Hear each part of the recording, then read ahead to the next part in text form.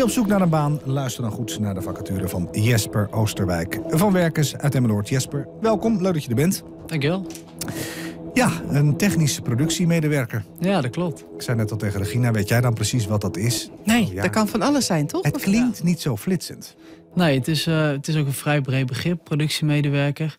Ehm, dus daarom is het altijd ook goed om de vacature goed door te lezen. Ja. En, eh, ja, eigenlijk het unieke in deze vacature is wel dat eh, bij de meeste productiemedewerkers eh, doe je veel dezelfde werkzaamheden. En hier is, eh, zijn de werkzaamheden elke dag weer anders, omdat het ook maatwerk is. Mhm. Dus je doet niet de hele dag dezelfde handelingen. Dus dat, eh, dat maakt dit wel een mooie vacature. En bij welk bedrijf is dit? Of wat voor soort bedrijf? Dus bij een eh, bedrijf in Lelystad, komt oorspronkelijk uit eh, Amsterdam, maar die is in 2002 hierheen verhuisd. Ja. Eh, mede door hun groei.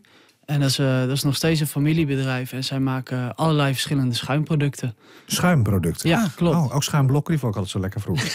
nee, die Nee, niet. waarschijnlijk net. Nee. Niet om te eten, Nee. ik zomaar. Maar bijvoorbeeld wel eh sponsen voor het, eh, voor het schoonmaken.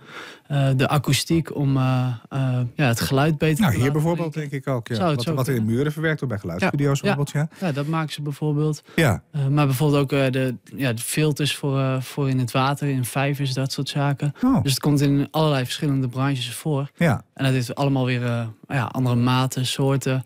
Eh, vandaar ook dat het maatwerk is. Maar is het lastig om mensen hiervoor te vinden? Ja, het is, eh, is wel lastig. Hoe kan dat? Dat komt voornamelijk omdat, eh, wat ik net al zei, productiewerk. eh, veel mensen die eh, dat werk gedaan hebben, die zien een, een lopende band voor zich met herhalende werkzaamheden. Dat is hier niet het geval.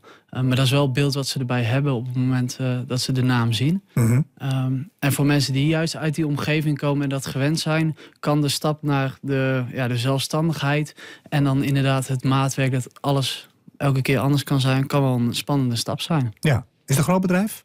Eh, er werkt op dit moment eh 25 man. Nou, Dus- En waar moeten mensen aan voldoen als ze nou denken... oké, ik heb nog werk nodig, dit wil ik graag. Waar moeten ze dan aan voldoen? Is zijn er nog meer opleidingseisen, weet ik veel? Nou, er zijn niet echt eh, opleidingseisen. Dat komt ook omdat ze zeggen, je zult het vak toch moeten leren binnen een bedrijf. Oké. Ehm, wel is ehm, ja, technisch inzicht handig. Eh, een stukje rekenvaardigheid en ruimtelijk inzicht belangrijk.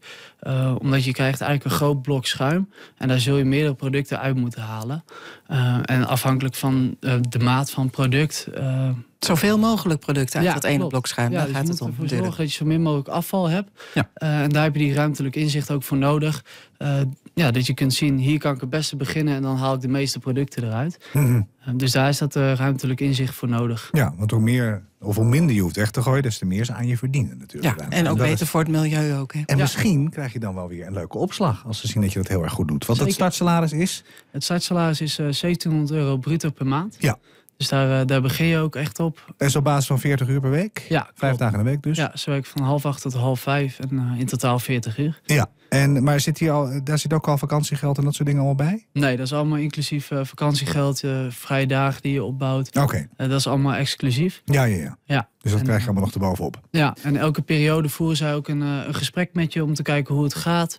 Eh, hoe vind je het zelf gaan? Wat eh, zijn je sterke punten? Waar kun je je verbeteren? Mhm. En afhankelijk van die prestaties eh kijken ze ook of je een, eh, een opslag verdiend hebt. Ja, en eventueel ook een vast contract. Mag je dan blijven of is het echt voor een korte periode? Nee, dit is echt eh, voor langere tijd. Mhm. Dus eh, eerst zul je een periode via werkers aan de slag gaan. eh, maar wel echt met de intentie om, om daar een contract eh, af te dwingen. Dat, eh, Ja. dat willen ze zelf ook graag. Dus eerst als uitzendkracht, tijdelijk. Ja, En je kan eventueel nog doorgroeien. Er zijn doorgroeimogelijkheden.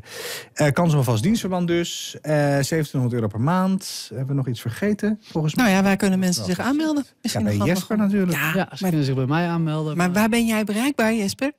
Ja, ik ben op, eh, ja, wij zijn op werkers.nl zijn we bereikbaar. eh, via Facebook, Instagram. ehm, En daar staat ook een vacature op waar mensen dan eventueel nog Ja, naar kunnen kijken. zeker. Eh, en er zit ook een chat bij. En als je daar dan op reageert, dan helpt een van- mijn collega's je om eh, bij de juiste vacature Ja. uit te komen. Oké, de vacature dus technisch productiemedewerker.